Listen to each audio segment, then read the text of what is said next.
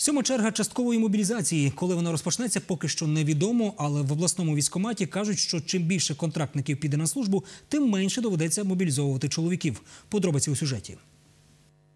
Тим, хто зголоситься йти на військову службу за контрактом, обіцяють високу зарплату, добре харчування і компенсацію за винаймання житла. Всі, які будуть призвані на військову службу за контрактом, вони будуть отримувати більше 7 тисяч гривень. На сьогоднішній день для Тернопільщини це дуже серйозні гроші.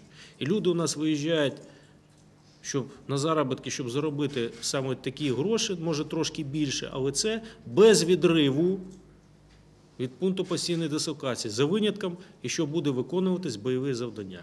Крім цієї зарплати, тим, хто служитиме у першій лінії оборони, доплачуватимуть 5 тисяч гривень. Хто у другій, третій лініях оборони – по 2,5 тисячі гривень. Зміняться і заробітні плати працівників обласних військових комісаріатів. Це ще приблизні е, дані, але всі бачите, що більше 7 тисяч гривень. Молодший е, лейтенант буде отримати в районі 10 тисяч гривень, солдат, водій електрик, радіотелефоніст будуть отримати від 7 тисяч гривень і більше.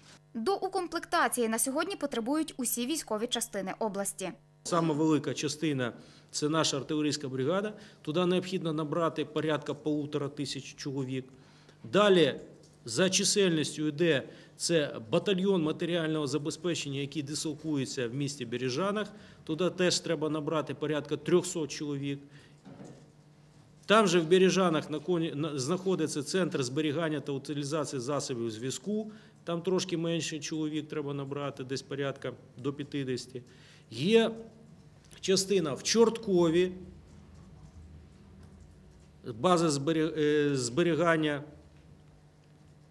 е, повітряних сил, яку теж треба порядка до 100 чоловік набрати. А також у нас є, дислокується ще такий підрозділ в місті Тернополі, військова служба правопорядку, яку теж так само потребують до 10 чоловік. Ми сьогодні були, які готові прийняти на військову службу за контрактом.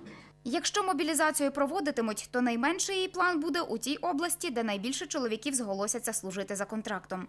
Ті, які зараховуються на військову службу за контрактом, автоматично знижується планове завдання по мобілізації. Тобто оці контрактники вони автоматично зараховуються в планове завдання по мобілізації. Так, це для всіх, для всіх областей.